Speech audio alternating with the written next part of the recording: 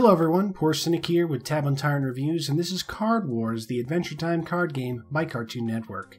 Card Wars is, surprise surprise, a competitive card game. You control one of the cartoon's various characters as they face off against each other in Card Wars. You play characters, buildings, and spells in an effort to reduce your opponent's health to zero. If you win, congratulations, you're the cool guy, but beware, as the Dweeb Cup awaits those who fall in battle. I have so many conflicted thoughts about this game it excels in many areas but falls short in many others. And it's just uh, i don't i don't know. Let's just go over some of the things here on screen because there's a lot of things and it's kind of complicated. Along the top we have basically the hero you have selected at the moment their level the amount of energy you have which is the hearts. This game has an energy system. It's not awful but it's just the fact that it has an energy system at all is not great uh, then we have the amount of cards you have right there. That's the box with the 21 out of 50 next to it. Amount of gems, that's your super currency. And then the amount of coins, that's your normal currency. And then going along the bottom here, first we have the gear. That's going to be your settings and your options. I have not been playing for a while, and I will not take a break. I just opened this up. Right, you have your credits, you have Cartoon Network stuff, you have settings, and you have uh, codes you can redeem, and I'll probably have to blank out that ID bit in the middle, I'm not sure. Then we have this gate. That'll take you to daily dungeons or the daily gift, and I believe I have the daily gift right now.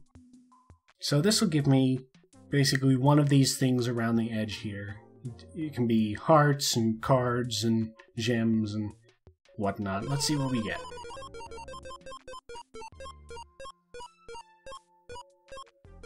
No whammies. Oh. 10,000 coins doesn't really help me all that much. Would have preferred a lot of hearts or ideally gems or something. But okay, coins. Now we have the middle button, this box. This is where you basically this is the meat of the the card building deck building aspect. Card box shows you essentially just all the cards you have collected, not in any particular order, although you can sort it. You can look at your creatures, you can look at your spells, your buildings, and your heroes. I obviously only have Jake and Finn at the moment. Now you can sell your cards for coins, you can uh, craft cards using other cards. So like, if I had, just going along the bottom here, you can see the stuff I have that's new. Like, I could combine the Cornball and the Wandering Bald Man to create the Traveling Farmer. I already have a Traveling Farmer, and I would prefer to keep my uh, my Cornball, because it's actually pretty good if you use it right. But otherwise, yeah, nothing there. And then there's the deck building aspect itself. You obviously have a deck size, and but other than that, you can pretty much add whatever you like. It's good to obviously build build your decks with something in mind. You can change the landscapes that you're going to have available. They come obviously the cornfields, the useless swamp, the blue plains, the sandy lands, and the nice lands. But we're going to stick with this layout right now. It allows me to use all the corn creatures I have, plus the scattering of actually yeah the scattering of swamp creatures, which is actually just the wandering bald man and the mace stump. And then there's the rainbow creatures and buildings that can be played uh, wherever. Alright, let's back out of there. Then we have the bag of gems. I can restore my energy, which costs one gem, which is not terrible, but I'd prefer not there be an energy system at all. Increasing your inventory costs 500 coins or one gem. That's that's not bad, you know. Um, so I could bump it up by five there. And then the gems themselves, one gem is a dollar, goes all the way up to 50 gems for $30. Hmm. Hmm.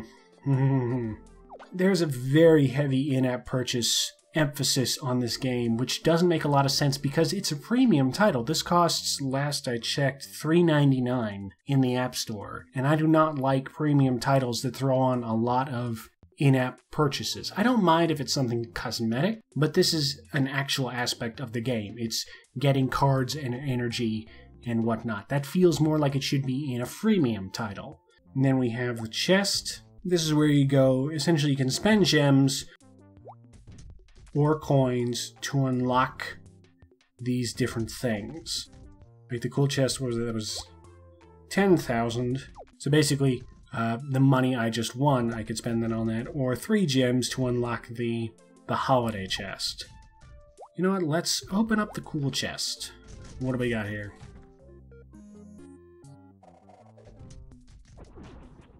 We got Ethan Allfire, which I have like four of, so that's great. That was a good use of my coinage. Awesome. Okay, so let's actually just go into battling.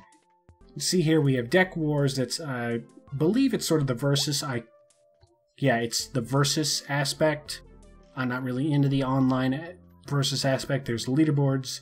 There's the special Fiona and Cake adventure, which is just add-on DLC.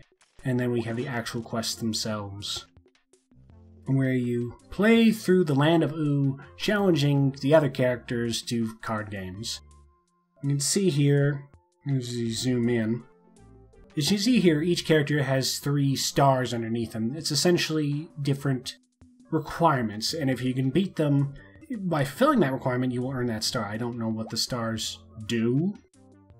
I guess by beating the second one, you earn a gem, but otherwise it's a little vague um, what exactly this is meant to do. You will occasionally get also get cards for beating them. Like for beating Marceline here, depending on the luck of the draw, I could get one of these cards along the side. Like the Strawberry Butt, or the Poultrygeist, or the Husker Worm. It also says what your special ability is, in this case Finn's, is gain 2 extra magic points for one turn, and what Marceline's is, which is all of my creatures gain, all of her creatures gain plus to attack for three turns. So let's jump into let's let's go face this. Let's go face Princess Bubblegum, and yeah, looks like she is gonna be a health-oriented kind of character, as far as I can tell, because her special ability is fully healing all of her creatures. But uh, yeah, it looks like that's gonna be the way to go. I could change out to Jake and I think that's what I might do because I like Jake's ability a bit more, especially since I have so many corn creatures. All my corn creatures will gain plus 3 attack. So, is there anything else I wanted to add? No, I think that's good. 15 minutes to recharge one energy. It's not awful. I've seen better though. We'll say sometimes the character animation is not great. Marceline's animation is really poor, and Finn's also kind of. Mm, P, uh, Princess Bubblegums was actually a little bit better there. But for for Finn and Marcy, it was almost just like they had three expressions and they would just flicker between them, like really bad stop motion. So let's place my landscapes, and see who goes who gets to lay down cards first. I will get to lay down cards first. Alright, so we go over the things here on screen. At the very top, you have the, the shield with, next to the blue bar. That's essentially your health points. The number in the purple sphere, that is your magic points. Essentially, everything costs magic to play or activate, and once you've used up your magic, you're done with the turn. Three turns, that's how long it's going to take for uh, for uh, both me and Princess Bubblegum to unlock our special ability. It's pretty self-explanatory, honestly. Star, yeah, that's the current quest and I can pause it, obviously, if I feel the need. So let's lay down some things here. Let's lay down the Wandering Bald Man in the swamp. And let's put down the cornball there. And that's going to take it right to Princess Bubblegum's turn because I don't get to attack on the first turn. Yeah, I guess it wouldn't be fair. Alright, laying down Fluffapillar. Alright. Now, when you're defending, you have to time it. Essentially, when you're attacking or defending, you have to time your defense or attack. Essentially, it's you know button pressing and whatnot. And I did not do it well there, and I got beat up by those caterpillars. All right, so I'm I'm gonna lay down two Ethan Allfires because they're gonna get free attacks. So that's gonna be 10 damage against Princess Bubblegum right there. And that leaves me with one energy, which I cannot... Well, no, I can lay down a building. So what I'm going to do is I'm going to lay down the comfy cave behind this guy right here, the cornball. Now I'm going to get to attack. And if I get... You can see there's the dull green and the bright green. Dull green is ordinary, bright green is critical, and the red is a miss. God, I'm not doing great. I'm choking under the pressure. Alright, Angel Heart. Choose one of your creatures and heal it three points. Oh, and the Astral Fortress creature in the lane gets plus four defense. Oh my gosh, that has so much health now. Okay. If you get the perfect on the defense, you will actually counter and deal damage to that creature. God, man, I'm doing so bad. There we go. And if you just get it in the normal green, it'll just block it. Alright, uh, I guess I'm going to put another cornball down there. And now I can actually floop one of my characters. You might remember, this is actually based on an episode of Adventure Time, if you're not aware. Uh, the Card Wars episode, appropriately enough. I recommend that you watch the series, by the way. It's very, very entertaining, very funny. I'm a big fan. But flooping essentially allows for a special ability or a special bonus. Like if I floop one of the cornballs, I will get plus one attack. And is, I believe that's just a permanent ability. Essentially a permanent buff, because you can keep applying it over and over you floop the, uh, the but the bald man, you do two damage to the creature in the opposing lane. And Ethan Allfire's is I lower the attack of the opposing creature by three and destroy uh, all fire. I don't want to do that. So I am going to instead I'm going to floop the bald man, do two damage to this worm, and hope that I can get lucky with the with the actual attack, because that'll be able to wipe it out. And that'll be all I can do. I don't want to spend my last point. So just gonna go for it.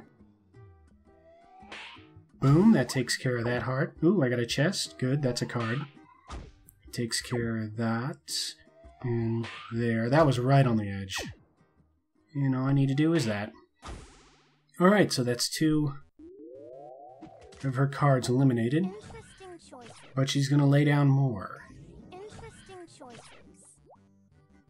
Yes, you just said that. Ah, you and your healing. You and your healing abilities. Oh, and you can buff them too? That's no good. Ugh. Not doing great. Really not doing great on the defense.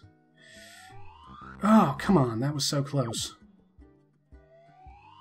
Oh my gosh.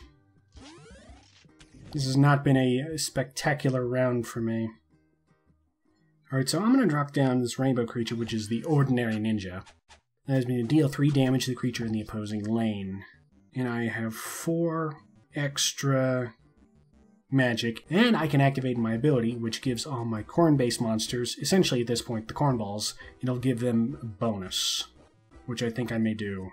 I don't think this, yeah, that does not cost magic, but I'm going to activate this. All my corn creatures gain plus 3 attack, And I'm going to start flooping as well. First, I'm going to floop you. So I'm going to deal 3 damage to that flying heart. Because I'm a ninja. And I'm going to floop this fella right here. Because that means I can now take out that heart in one blow. Provided I get it right. There we go. Down to 3 away you go, and I get coins for that. Perfect. Critical times 2 damage, and one of those right there. Uh, she just keeps laying down cards. And now she's going to activate her special ability, and now everybody is getting healed. Ah, the Cerebral Bloodstorm. There goes one of my cornballs. Great. Fortunately, it was not in a lane that was Defended. Shit. Oh my gosh. There we go. That's a nice counter there. Man, I am just not doing great here. Alright, so... I'm going to lay down the Traveling Farmer there. 5-5 plus 1 attack for each adjacent lane, but I don't have any empty adjacent lanes. And I guess I'm going to drop this cornball there. And I'm going to floop this fella right here. Now, should I floop the bald man and get an opportunity to take out that heart? That might be for the best. Or should I floop the other cornball? Now, I'm going to floop the bald man. So that way I can try to eliminate this heart before it heals anyone else. Alright, we're ready to go. There we go. One of those. And perfect! Away you go. Alright, sometimes the controls of this game can be a bit unresponsive at times, especially when you're selecting cards. But, um, it's not all the time, it's a bit unpredictable. Alright, so now I have no empty spaces, so I can just floop. In this case, I'm going to start buffing up my cornballs and doing as much damage to to peoples directly as I can. Alright, that is all I can do, so let's start swinging away.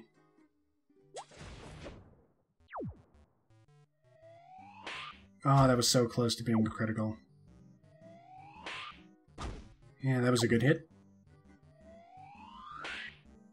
Alright, just six more. Four more. I should be able to wrap this up. Provided... Yeah, this should be. This is definitely attainable. Oh my gosh, with the healing. Oh, that was not even close. I I need to focus. Ah. And there goes my super buffed cornball. Alright, I'm going to... You see there, I was tapping and it did not respond right away. I didn't want to enlarge that. So... Yeah, I'm going to drop Ethan there because he might be able to take out that worm in one hit. And I'm going to floop the cornball. This, I, I've already pretty much won it because as soon as the that cornball attacks, I'm going to wipe Peebles out. Uh, wait, is there anything else I wanted to do? No. We're just gonna go. And... Enough of your healing BS. Bye-bye. And... Sayonara.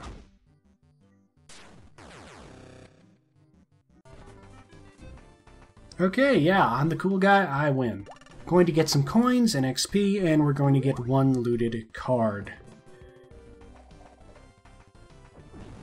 In this case, the Wall of Ears.